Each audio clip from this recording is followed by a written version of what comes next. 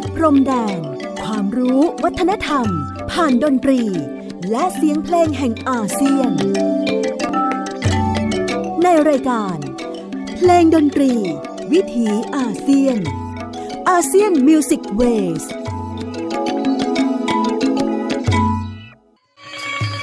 สวัสดีครับ คุณผู้ฟังที่เคารพนะครับ ขอต้อนรับทุกท่านเข้าสู่ช่วงเวลาของรายการ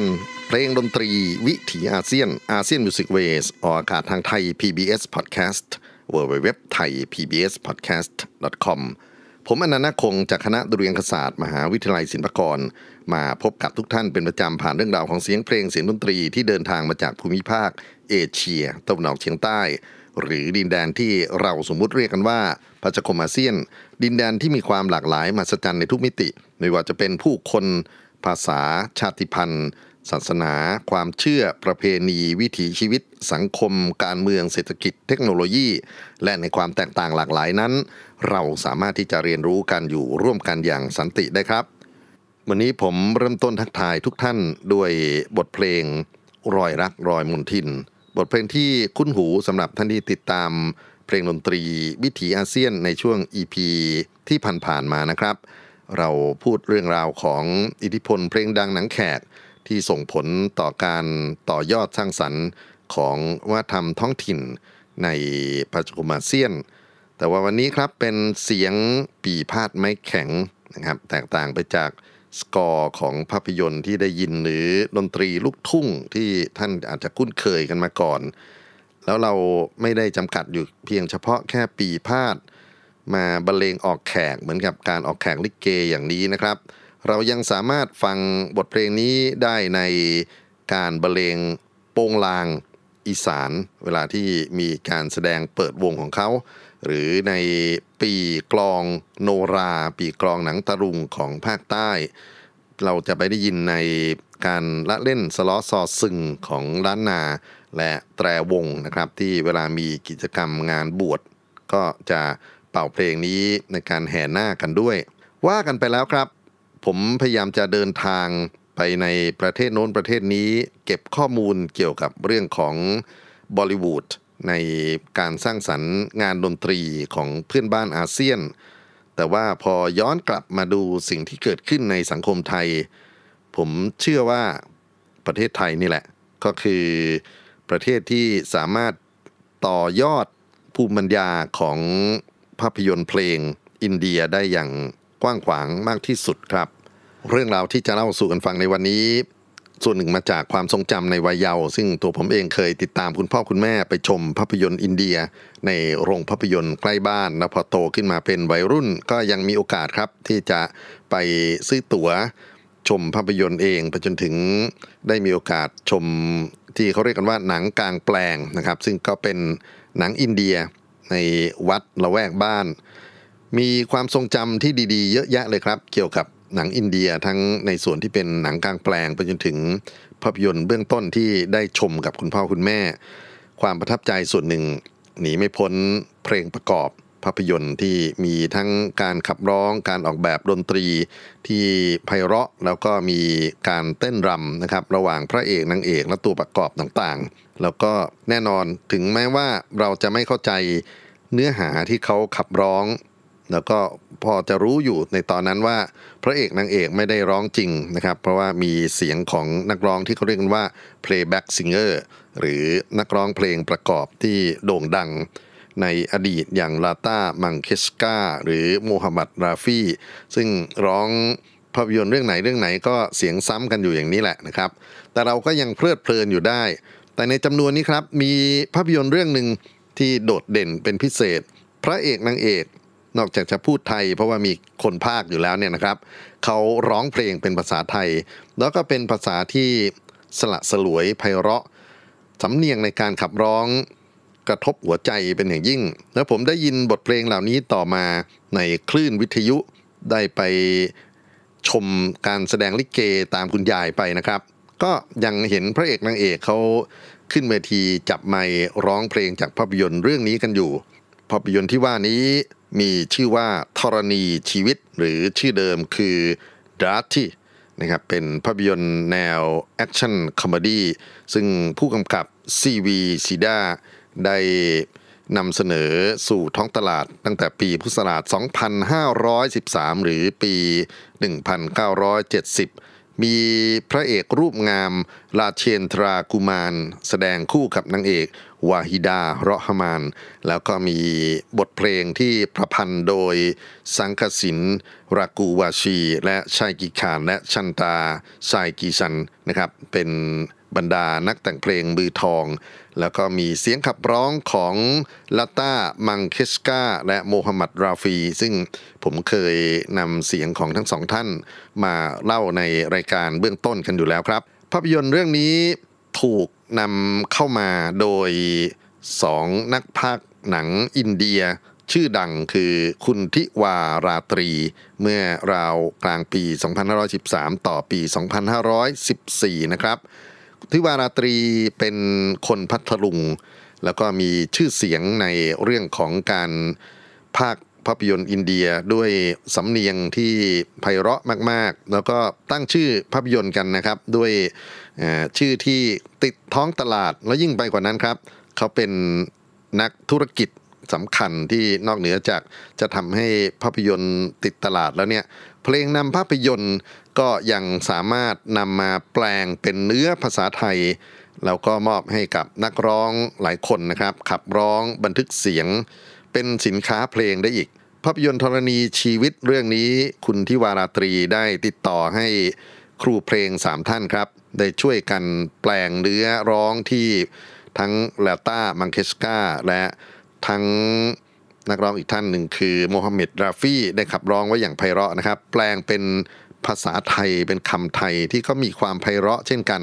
ครูเพลงทั้ง 3 ท่านคือ ครูพงศักดิ์จันทรุกขา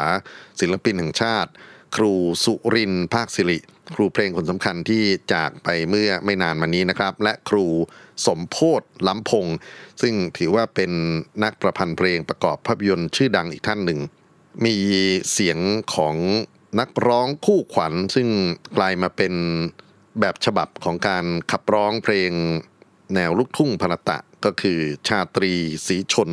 และคุณยุพินแพรทอง หรือแม่ชียุพินแพรทองในปัจจุบัน บทเพลงที่จะฟังในวันนี้ครับ เป็นงานเพลงที่ดึงมาจากเสียงต้นฉบับนะครับ แล้วก็ผมอยากจะเปรียบเทียบกันระหว่าง การฟังไม่ว่าจะเป็นโมฮัมหมัดราฟี่หรือลาต้ามังเคสกาขับร้อง แล้วมาฟังชาตรีสีชน กับยุพินแพรทองร้องในฉบับของภาษาไทย เริ่มต้นเอาฤกษ์เอาชัยกันก่อนนะครับ กับบทเพลงที่เป็นสัญลักษณ์ของภาพยนตร์เรื่องนี้ ये मौसम भीगा भीगा है हवा भी ज़्यादा ज़्यादा है จากเสียงของโมฮัมเหม็ดราฟีและลาตามังเคสกาและต่อกันกับธรณีชีวิต ชาตรีศรีชลและแม่ชียุพินแพรทองครับ เพลงดนตรี วิถีอาเซียน ASEAN Music Waysมนเสียงเพลงขับร้องโดยชาตรีศรีชลและแม่ชียุพินแพรทองนะครับ เป็นงานที่ครูสมโพธล้ำพง แปลมาจากเพลงต้นฉบับये अलबेली प्यार की राहें ซึ่งโมฮัมหมัดราฟีและลาตามังเคสกาขับร้องคู่กันไว้ นี่ก็เป็นอีกหนึ่งเพลงดังจากภาพยนตร์ธรณีชีวิตนะครับ มีอีกหนึ่งเพลงที่ผมประทับใจมากๆ แล้วก็ทำให้ต้องติดตามงานของชาตรีสีชนอีกมากมายเลยทีเดียวนะครับ เพลงชื่อว่าโฉมนาง คราวนี้เป็นผลงานที่ครูพงศักดิ์จันทรุกขา ท่านได้ใส่เนื้อภาษาไทย แล้วก็เป็นบทเพลงที่ผมอยากจะเห็นการทำงาน reproduction โดยดนตรีที่มีความหลากหลายนะครับ ก็ฝากความหวังไว้หลังจากรายการนี้ถ้าเกิดว่ามีนักร้องนักดนตรีรุ่นใหม่ ๆ อยากจะนำโฉมนางไปแปลงร่างเป็นอะไรก็ตามแต่เนี่ยก็อยากจะ สนับสนุนอย่างเต็มที่ ต้นฉบับของโฉมนางซึ่งเราจะฟังในฉบับอินเดียก่อนนะครับ เป็นบทเพลงख़ुदा भी आसमाँ से ซึ่งโมฮัมเหม็ดราฟีได้ขับร้องบันทึกเสียงไว้ในตอนต้น แล้วก็จะต่อด้วยโฉมนาง ซึ่งคุณชาตรีศรีชลขับร้องไว้อย่างน่าประทับใจมาก ๆ ครับ เพลงดนตรี วิถีอาเซียน ASEAN Music Waysบทเพลงชมนางเสียงขับร้องของชาตรีสีชน ซึ่งครูพงษ์ศักดิ์จันทรุกขาท่านได้แปลงมาจากखुदा भी आसमान से ซึ่งโมฮัมหมัดราฟี่ขับร้องเอาไว้ในภาพยนตร์ธรณีชีวิตหรือดาจี้นะครับ นอกจากเสียงของชาตรีสีชนก็อยากจะแนะนำให้ไปฟังเสียงนักร้องรุ่นหลังๆ ซึ่งนำมา cover กันเยอะแยะเลย ไม่ว่าจะเป็นเสรีรุ่งสว่างยอดรักสลักใจ มาจนถึงรุ่นของก๊อตจักรพันธ์นะครับ ก็มีลักษณะของการตีความที่น่านำมาเปรียบเทียบกันด้วย แต่ว่าตอนนี้ครับอยากจะเลี้ยวออกมาจากธรณีชีวิตสักนิดหนึ่ง เพราะยังมีบทเพลงที่ เรียกว่างอกเงยออกมาจากตัวงานเพลงประกอบภาพยนตร์ แล้วก็เป็นการเติบโตในทางการสร้างสรรค์นะครับ ครูเนรัญชลาได้นำหยิบทำนองเพลงโฉมนางนี้ มาเขียนเป็นเพลงดวงตาดวงใจ วันนี้ผมเลือกเอาฉบับที่ราชินีลูกทุ่ง คุณพุ่มพวงดวงจันทร์เคยขับร้องบันทึกเสียงไว้ มาเปิดให้ฟังแทรกกับ ธรณีชีวิตนะครับ ต้องหมายเหตุว่าอันนี้ไม่ใช่เพลงที่อยู่ในตัวภาพยนตร์โดยตรง แต่ว่าเป็นการสร้างสรรค์ต่อยอดมาจากความเป็นเพลงโฉมนางครับ เพลงดนตรี วิถีอาเซียน อาเซียนมิวสิกเวสดวงตาดวงใจ ราชินีลูกทุ่งพุ่มพวงดวงจันทร์ขับร้องบันทึกเสียงเอาไว้นะครับ เป็นงานที่ครูเนรัญชรา ท่านได้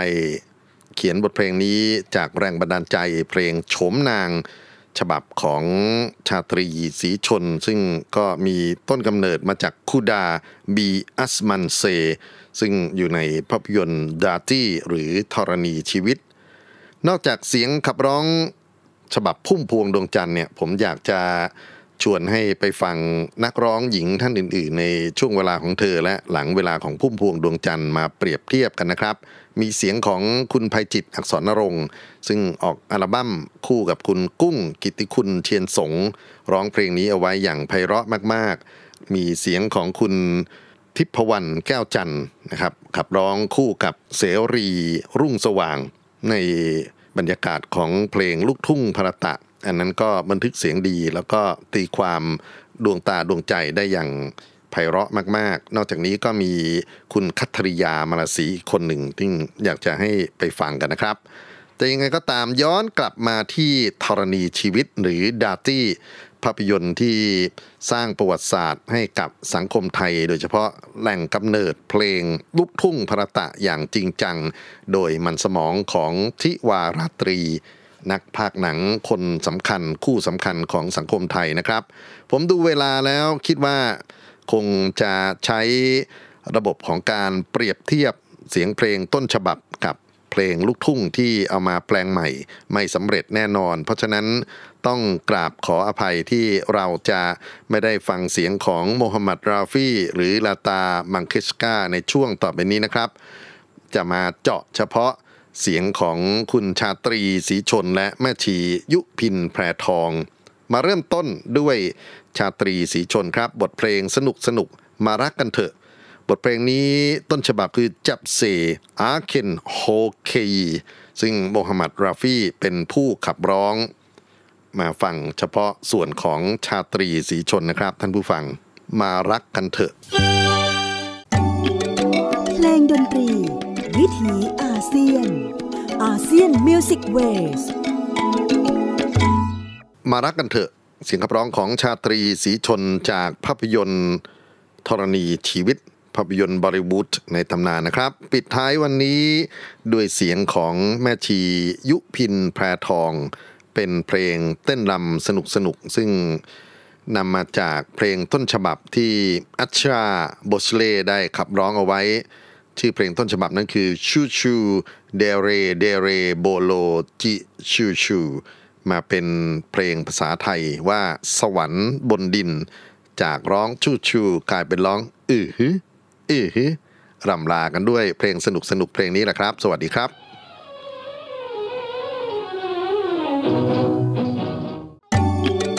เพลงดนตรี วิถีอาเซียน ASEAN Music Ways